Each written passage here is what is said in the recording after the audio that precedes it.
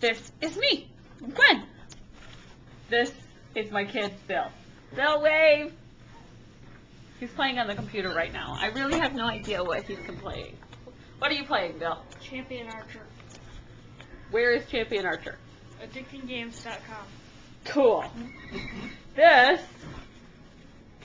is my living room. That's my front door. The white stuff is by Magnetic Poetry. The kid put them there. Those are Buddhist prayer flags and a whole bunch of magnets for sticking random stuff. You may see the red dot. That's my son's practice target for Nerf darts. There's the chair and the couch. And yes, I know they're ugly. The Wall of Dragons. I kept the dragons in the divorce. I know, funny.